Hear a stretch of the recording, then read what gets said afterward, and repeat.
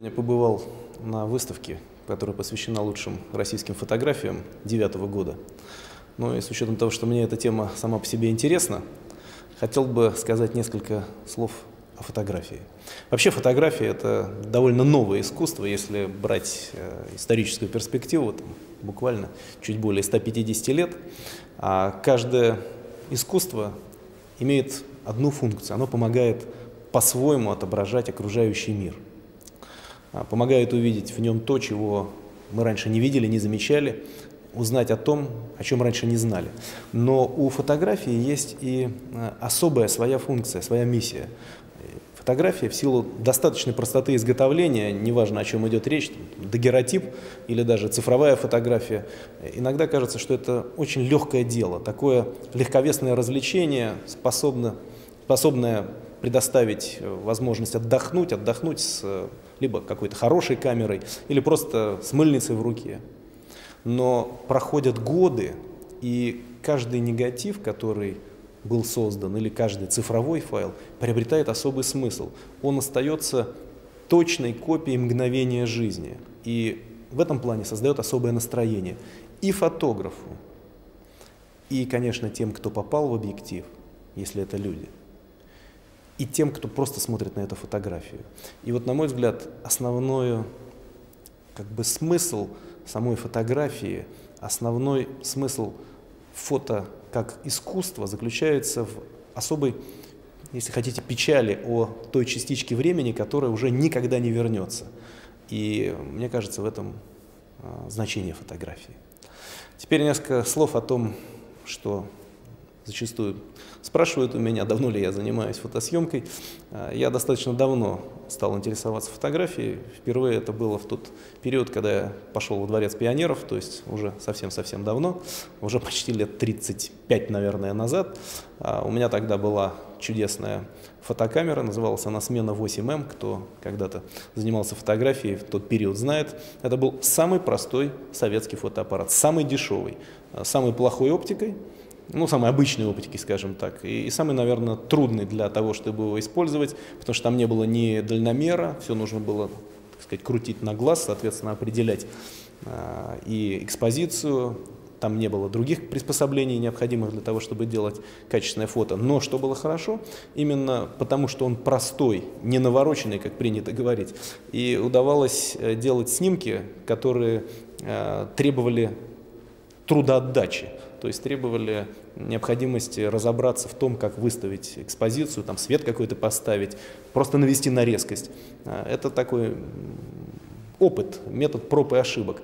Ну и, конечно, сам по себе негативный процесс, так называемый, то есть э, сначала проявление, потом фиксация, потом печать, потом те же самые процедуры, там, высушить фотографии. Это все часть жизни, которая никогда мною не забудется. Вот, может быть, поэтому для меня это увлечение остается таким интересным. Я, правда, очень долгое время не снимал и начал снимать уже в более зрелом возрасте, наверное, после 30 лет. И стал уже делать это, так сказать, ну, что называется, в удовольствие, когда появилась возможность приобретать и современную технику. Что снимать? Это всегда тот вопрос, который стоит перед любым человеком, перед любым человеком, который взял в руки фотоаппарат, мне нравится снимать и пейзажи, мне нравится снимать архитектуру, и, конечно, мне нравится снимать людей, но если говорить по-честному, людей мне снимать очень непросто, потому что в силу моей работы это будет э, странно выглядеть, если я в какой-то момент выбегу с фотоаппаратом и начну кого-то фотографировать. Боюсь, просто люди меня не поймут. Вот. А все остальное снимать э, интересно и, ну, конечно, по-разному получается, как у любого человека, который щелкает. А теперь отношение техники, а, тоже тема, которая часто задается в блогах, а, чем я снимаю. Но сейчас, слава богу, много всего продается. Я когда-то, может быть, лет 10 назад купил несколько приличных камер, которые снимали на пленку, Canon. Ну а сейчас я снимаю в основном, конечно, на цифру, но иногда балуюсь и пленкой. Хотя это, конечно, более сложная вещь, чего там скрывать, но в пленке есть свой аромат, как известно.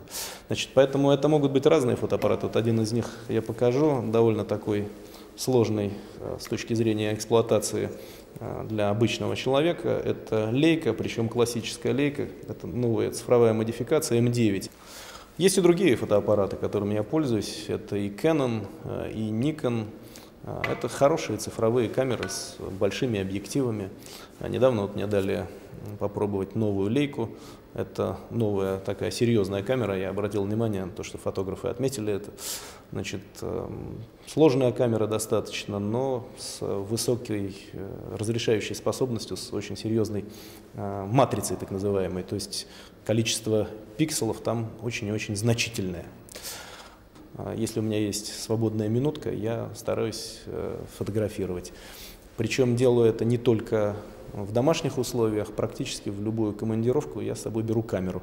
А, честно скажу, далеко не всегда получается сфотографировать что-то, но если получается, а это в основном фотографии а, либо из резиденции или из гостиниц, потому что по-другому сложно фотографировать, иногда, кстати, из машины, а, то мне, в общем, кажется, что это интересно для меня, потому что остается память о той или иной поездке, а езжу я немало.